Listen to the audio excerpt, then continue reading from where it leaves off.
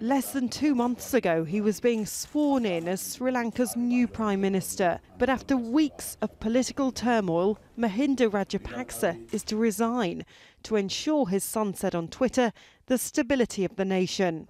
Rajapaksa was previously Sri Lanka's president for a decade, bringing to an end the country's long civil war with a brutal final assault on the Tamil Tiger rebels. His appointment as Prime Minister, though, has been controversial from the start and plunged the country into a constitutional crisis.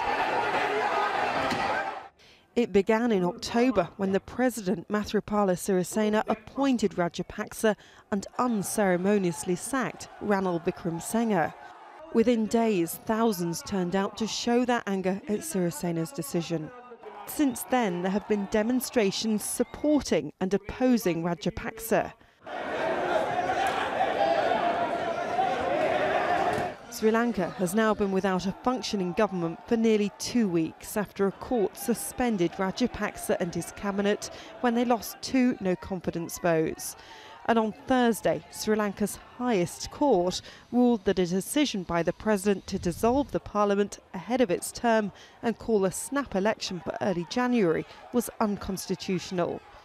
Rajapaksa's decision to step down is unlikely to mean that Sri Lanka's political landscape can return to a kind of normality anytime soon. Mahinda Rajapaksa is expected to address the nation on Saturday. Emma Hayward, Al Jazeera.